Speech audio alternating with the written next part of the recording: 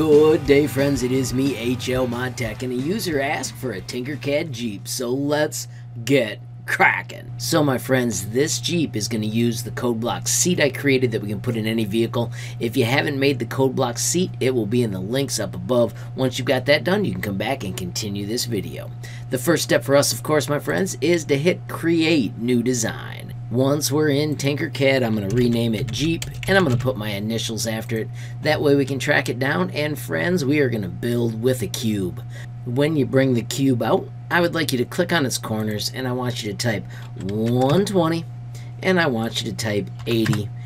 And let's click on the height one. I want you to make it size 30. We want to give it a radius of 2 so the edges are rounded. I'm going to make mine a fun green color because it reminds me of one my father had when I was a kid. If you want to make your own custom version, that's where it gets extra fun. Friends, it is time to add some sweet wheel wells. We're going to do that with the round roof. When you bring it out, make sure you hold shift and stretch it a little bit, and then we're going to type the number 35 and press enter. You'll notice that it snaps to all of those distances as 35, we're going to change this distance to 10. When we take this shape and select align, we want to click on the green one to make it the master, and we want to come to the edge and to the front, and then we want to click just the blue one and make it a hole. This next trick, friends, is pretty cool. If you hold shift and nudge, instead of doing 1 millimeter, it'll do a super nudge, which is 10 millimeters that instantly moves it in as far as I want for the wheel. Friends, let's do Control D. And let's just nudge this with Super Nudge towards the back. Let's select both of them. Click align. Once again, pick the green one as the master. And if you say back edge, it'll be lined up perfect.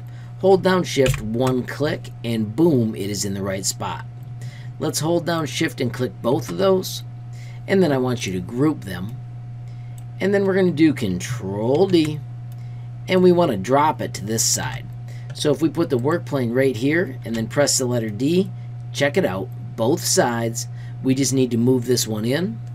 I'm going to put the work plane back down to the ground and friends if we do shift nudge it lines up exactly where we want those wheel wells. Select all of that and group it and the body of your Jeep has sweet wheel wells. Let's go find some sweet wheels. There are some in the shape library.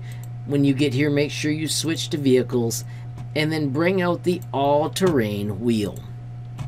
Notice it's not aimed correctly, so what we're going to do is look at it from a corner.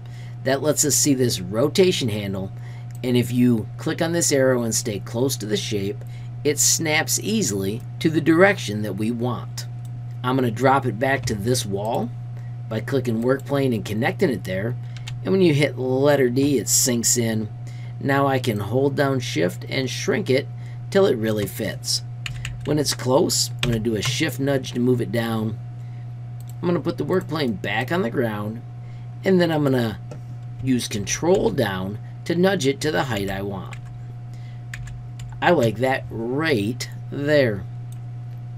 I'm going to click on that one and do control D and now I can shift nudge it back to this spot and then when I get close, I can do single nudges to get it perfect.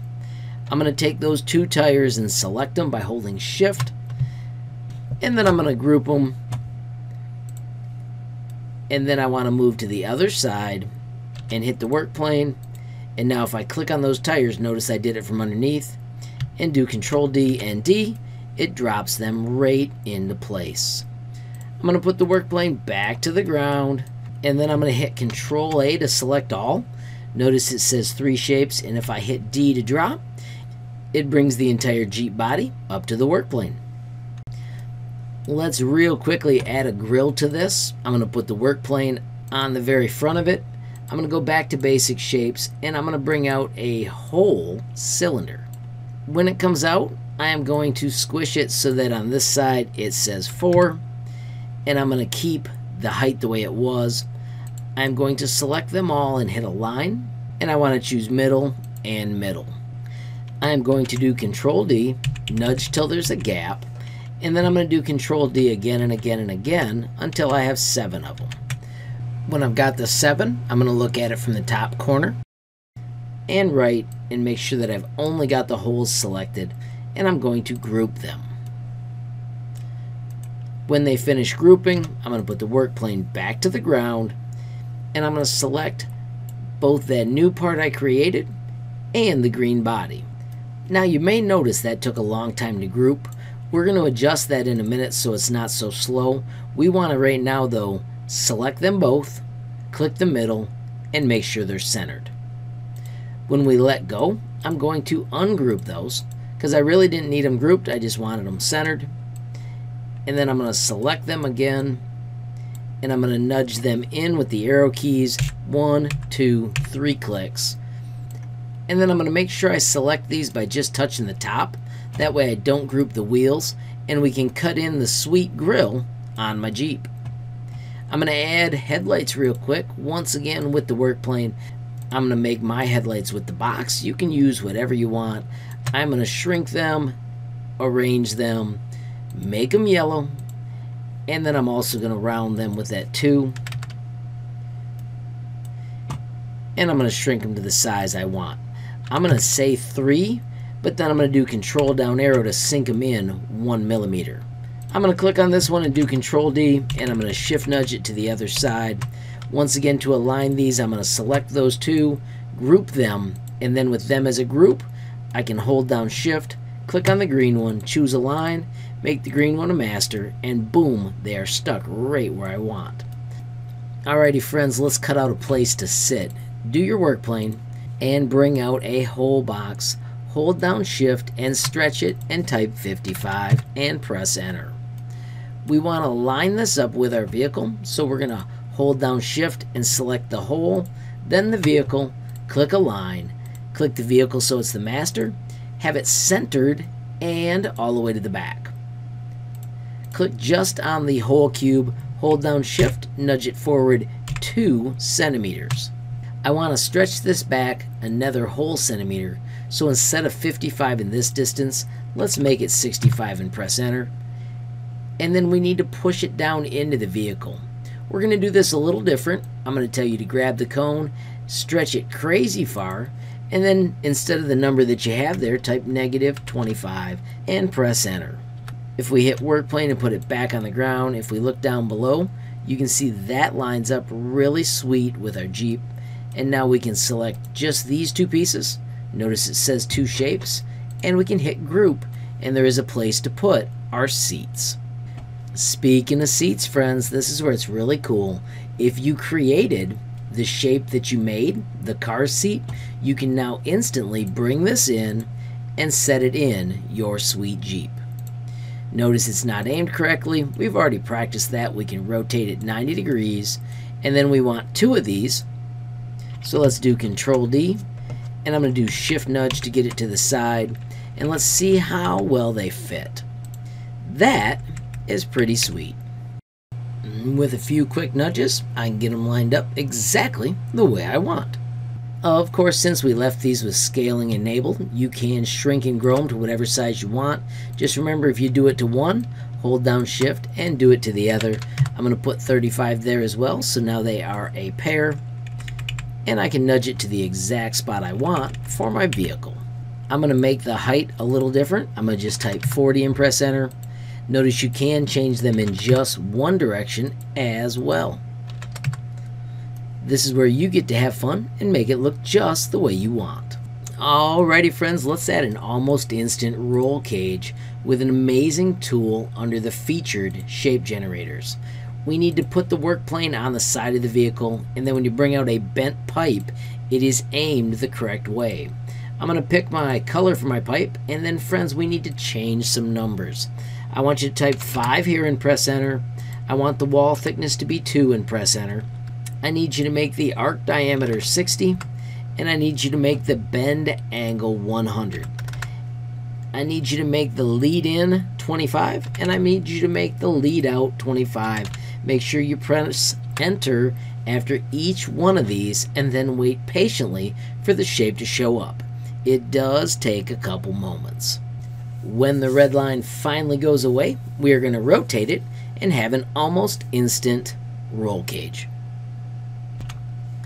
There you have it. Now we need to hit this rotation angle. And I'm going to tell you stay close to the middle and friends rotate it right to the 45 degree mark. When we hit work plane and set it back down to the ground, we can now use the arrow key to nudge our roll cage into place. I'm going to back it up this way, and then so that this sinks in, I'm just going to do control down arrow. There you have it, a roll cage in an instant. I'm going to click on it and hit control D. I'm going to use shift nudge to move the other one to the other side. I'm going to get it close to where I want with single clicks. Hold down shift and select both. And I'm going to group them. And once those two parts group, and now that they are grouped, I'm going to hold down shift and click the body of our Jeep. Click Align, choose the body as the master, and center them so they're perfect. I do want a bar that goes across these.